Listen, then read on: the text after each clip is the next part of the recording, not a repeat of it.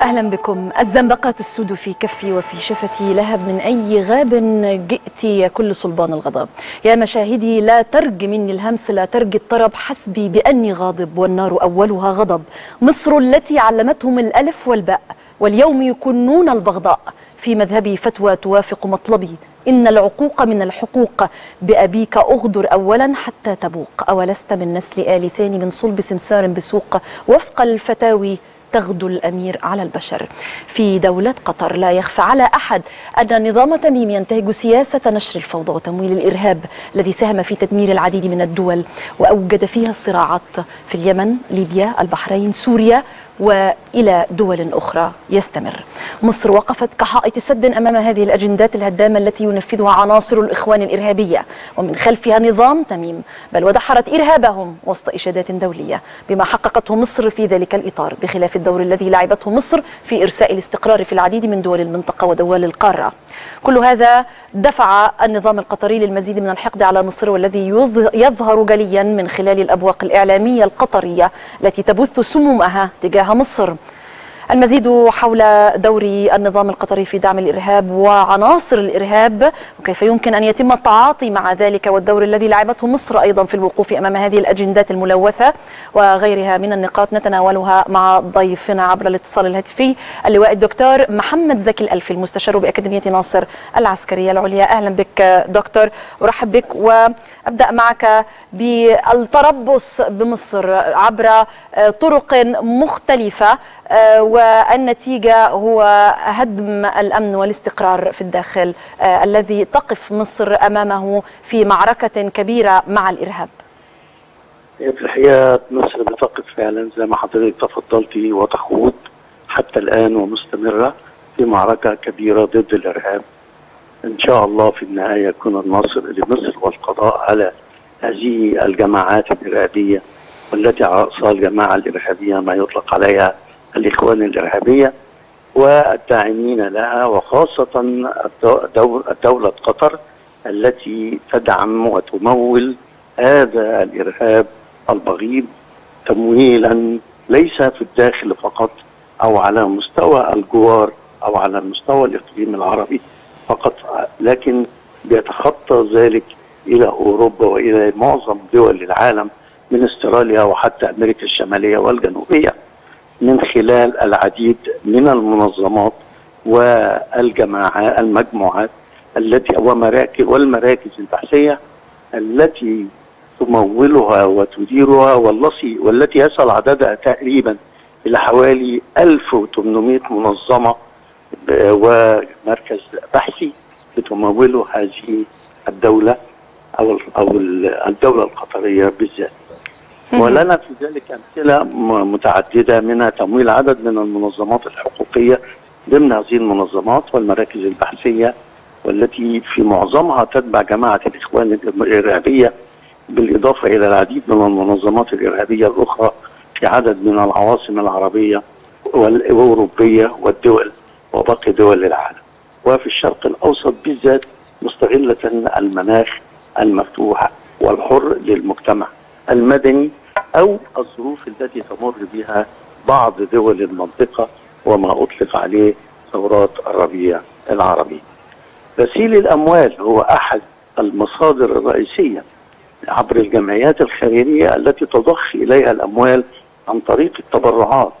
تهديد الأمن القومي للشعوب من خلال تمرير أجندات سياسية وتضليل الرأي العام وتوجيهه في اتجاهات خاصة بتنفذ بها أجندات وسياسات خاصة بدولة قطر ومن يحركونها ومن يقفون وراءها. المقاطعة العربية للدوحة والتي كشفت الدور القطري الذي كان موجودا خلال الفترة الماضية والتي والذي وهذه المقاطعة والتي تقودها مصر والمملكة العربية السعودية والإمارات والبحرين إنما تقف أمام هذا الدعم الرهيب لهذه الجماعات الإرهابية وهذه الأجندات وهذه السياسات رغم وقوف بعض الدول التي تقف وراء قطر لتنفيذ هذه الأجندات. دعم وتأسيس منظمات دينية في المدن الأوروبية وده موجود ومنهم حتى معاهد لتخريج أئمة لبعض المساجد ينشرون بعض الأفكار وخاصة لزعماء الجماعة الإرهابية ومنهم القرضاوي. الاعتماد على التواجد في صفوف الجماهير والاستفادة منها كذراع جماهيري لتوجيه الرأي العام اتجاه ما تريده هذه الدولة في هذا الاتجاه برضه لتنفيذ هذه الأجندات واكتساب دعم جماهيري لها وده كان واضح جدا يمكن في العمليات الأخيرة اللي كانت موجودة في دول الجوار وخاصة السودان ولا زالت مستمرة وموجودة في في ليبيا ودعمها لبعض هذه الجماعات.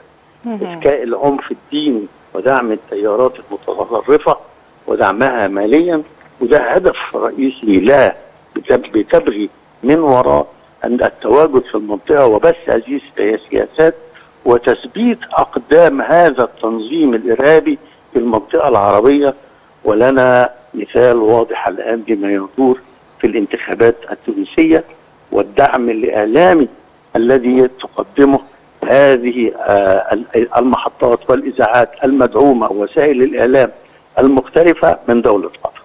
تدخلها السافر ليس فقط في الدول العربية والواضح في جميع الدول ما أطلق عليه الربيع العربي بدءا من الصومال وعندنا برضو في أوروبا فضيحة قطر ويكليكس قطريكس قطر ريليكس من خلال الصاروخ القطري اللي تم ضبطه في إيطاليا والذي كان سيستخدم لاغتيال وزير أحد وزراء إيطاليا. وسائق برضو في سويسرا ظهرت في في برلمان في برلمان النمسا الذي كشف دعم قطر للأنشطة الإخوانية وتنظيمات إرهابية في أوروبا. طبعا التدخل في ليبيا اتكلمنا فيه.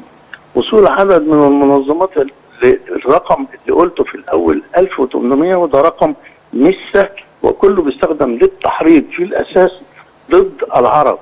الاستفادة برضه من مئات المرتزقة اللي بتستخدمهم في تجميل صورتها ومراكزها المشبوهة ودي بتموله بحوالي 85 مليون يورو.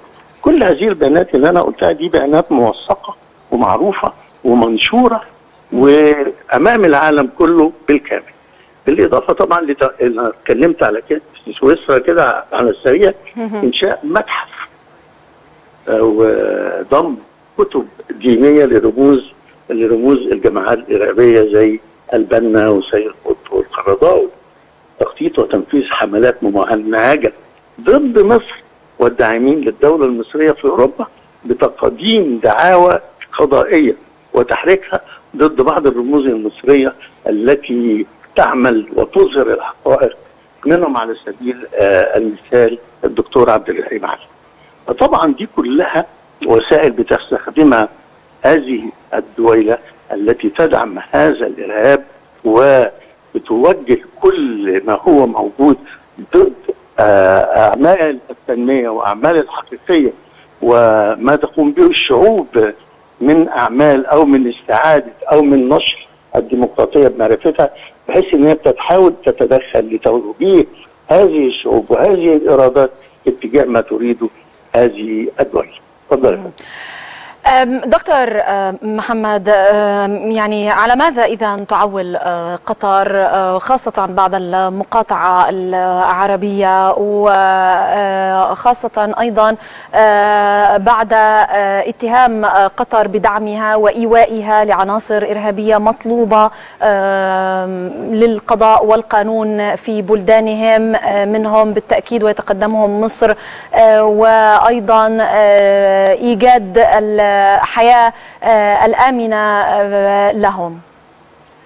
يعني هو ده هدف رئيسي لها إن هي تستفيد أو تبقى ليها شكل أو ليها كيان في المنطقة.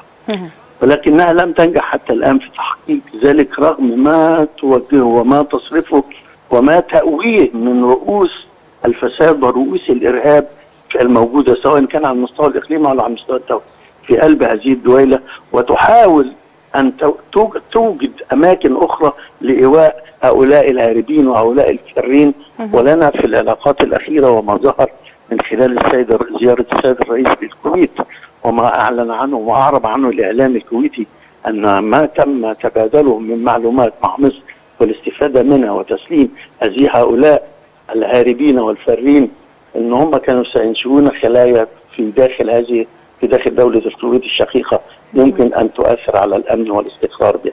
هذا هو هدفهم الأساسي وأنا من وجهة نظري شايف إن هم ده ليس هدف لهم فقط ولكن هناك آخرون يقفون خلفهم وهم ينفذون أجندات لهم وهم يمتلكون من الإمكانيات المادية ما يمكنهم أن يبعثروها في هذا الاتجاه بل بدلا من أن يفيدوا بها أمتهم العربية وأمتهم الإسلامية كما يدعون وكما يتوارون خلف عباءة الدين. شكرا لك اللواء الدكتور محمد زكي الألفي المستشار بأكاديمية ناصر العسكرية العليا. شكرا جزيلا لك.